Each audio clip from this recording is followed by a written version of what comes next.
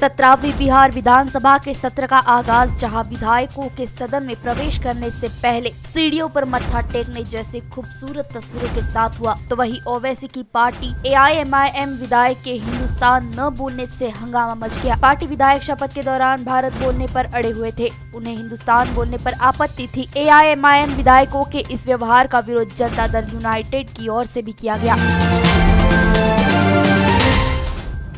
Bollywood drugs connection को लेकर जाँच कर रही एनसीबी के डायरेक्टर समीर वानखेड़े की टीम पर गोरेगांव इलाके में हमला किया गया। यह छापेमारी गोरेगांव पूर्व के जैन मेडिकल के सामने एसवी रोड पर चल रही थी। छापेमारी के दौरान एनसीबी के अधिकारियों की एक टीम पर कुछ अज्ञात लोगों ने कथित तौर पर हमला कर दिया, जिसमें दो एनसीबी अधिकारी घायल हो गए। मुंबई पुलिस प्रवक्ता चैतन्य ने बताया कि गोरेगांव पुलिस ने तीन लोगों के खिलाफ मामला दर्ज कर गिरफ़्तार कर लिया है। कोर्ट में पेशी के बाद तीनों आरोपियों को जेल कस्टडी में रखने का आदेश मिला है। फ़िलहाल फ़िलहाल मामले की जाँच चल रही है।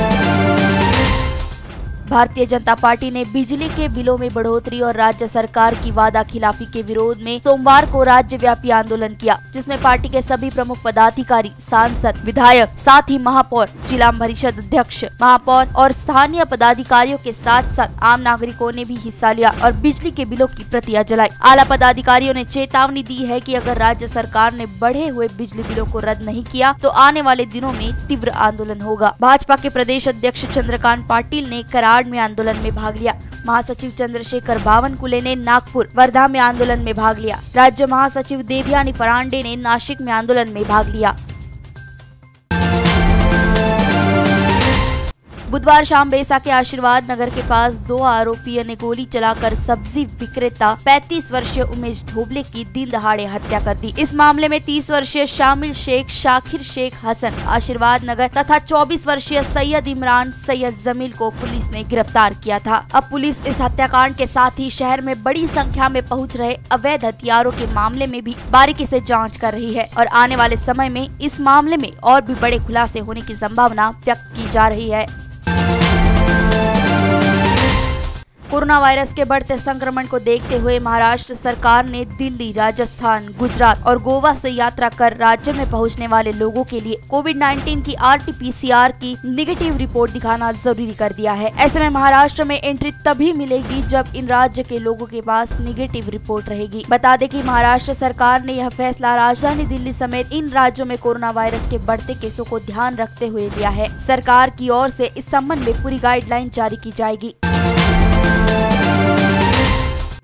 रेलवे ने किसानों, फल उत्पादकों और व्यापारियों को दोबारा अपने से जोड़ने के लिए किसान रेल शुरू की। लदान में 50 प्रतिशत की रियायत के बावजूद इसे किसानों और व्यापारियों का उम्मीद के अनुरूप प्रतिसाद नहीं मिल रहा है। इसकी वजह ट्रेन की टाइमिंग बताई जा रही है। दक्षिण पूर्व मध्य रेल नागपुर मंडल के तहत इतवारी होते हुए छिंदवाड़ा, हावड़ा किसान रेल की यह स्थिति है। किसानों की मांग है की यदि ट्रेन हमारे लिए चलाई जा रही है तो इसकी टाइमिंग भी हमारी ज़रूरत के मुताबिक हो। ताकि हमारे सब्ज़ियाँ या फल संबंधित शहर में सही समय पर पहुँचे और बिक सके।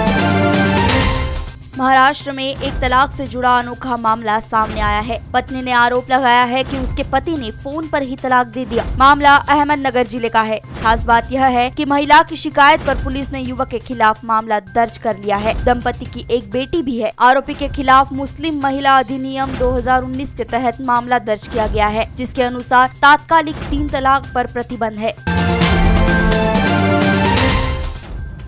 भारत में कोरोना के संक्रमण ने फिर अपने पैर फैलाना शुरू कर दिया है। लेकिन अच्छी बात यह है कि हम कोरोना वैक्सीन को लेकर काफ़ी सकारात्मक तरीके से आगे बढ़ रहे हैं। कई वैक्सीन निर्माता कंपनियों का परीक्षण अंतिम चरण में है। अगर सब कुछ ठीक रहा तो भारत में जनवरी अंत या फरवरी के शुरुआती सप्ताह में लोगों को वैक्सीन मिल सकती है। इतना ही नहीं, इसका फ़ायदा समाज के हर तबके के लोगों को हो। इसके लिए भी सरकार योजना बना रही है। प्रधानमंत्री ने हाल ही में कहा था कि हम वैक्सीन के भंडारण से लेकर वितरण तक की योजना पर काम कर रहे हैं। रूस के डेनिल मेदवेदेव ने एटीपी फाइनल्स का खिताब अपने नाम कर लिया है। उन्होंने अमेरिका ओपन के विजेता ऑस्ट्रिया के डोमिनिक थीम को हराया। मेदवेदेव का यह अभी तक के अपने करियर में सबसे बड़ा खिताब है। रूसी खिलाड़ी ने खेले गए मैच में थीम को दो घंटे तिरयालीस मिनट में चार छह सात छह छह चार से हरा दिया। वह इसी के साथ सीज़न के अंत वाली इस चैंपियनशिप में एक तीन तक रैंक वाले सभी खिलाड़ियों को मात देने वाले पहले खिलाड़ी बन गए हैं।